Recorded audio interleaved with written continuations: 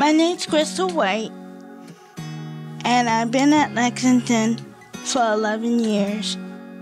Before Lexington, I used to live in New York City in the Bronx with my family.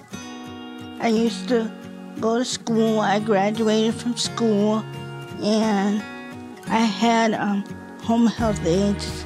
I chose to make the move. It was quite different for me because I was used to hearing sirens and everything else, and I wasn't used to seeing deer and and how slow up here is, like the pace.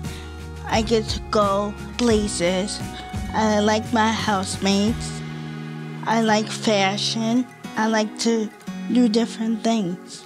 I like to go on the internet and look for things, like go to Amazon and shop there and stuff.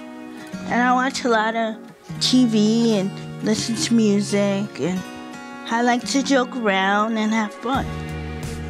I like my own space because I get to do whatever I want.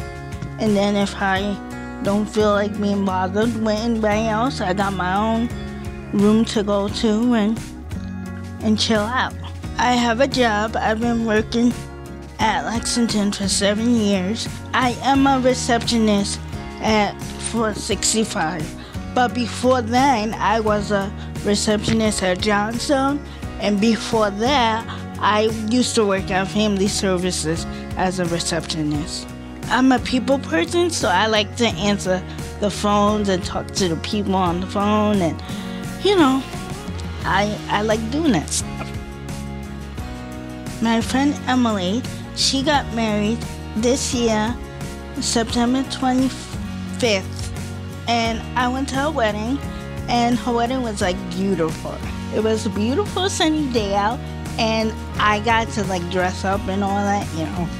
And we danced, we had a good time. And then the people that was there, I know majority of them, so I got to catch up with them and we laughed and we had a good time. The staff here at Lexington is more than my staff. They are also my friends.